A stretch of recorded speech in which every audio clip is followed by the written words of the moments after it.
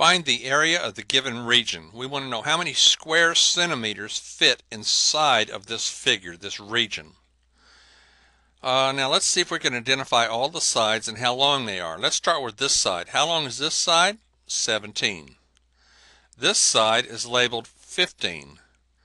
Now this side is the same as the 17 side over here. So this is also 17. Okay. Now 5 is the length of this. How long is this?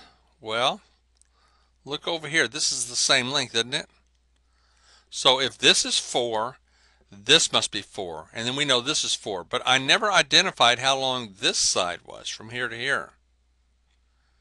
So let's label that X and see if we can tell something about this. Now I know 15 is the distance all the way across that.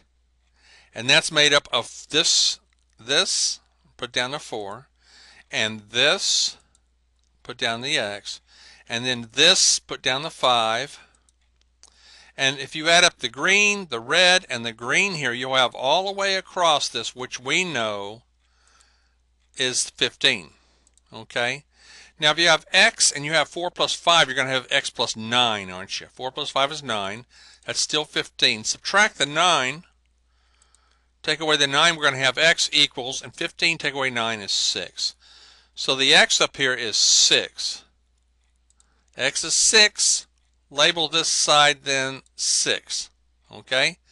Now the area of the region. First of all, the region is a rectangle. Okay, the length is um, 15. The width or the height of it is 17. And when we multiply those, you find out how many squares fit in the rectangle okay? And then from the rectangle, we're going to subtract out, we're going to take some scissors and cut out that part. We're talking a 4 by 6, a, a little rectangle up here. It's 4 for here. This side is 4, and this is 6. So we're going to cut out, with scissors, we're going to cut out a 4 by 6.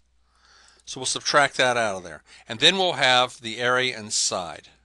Now, 15 times 17 is 255 and you have centimeters times centimeters is square centimeters, and then you, from that you take away the 24. Take away 24, you're going to have 231 square centimeters.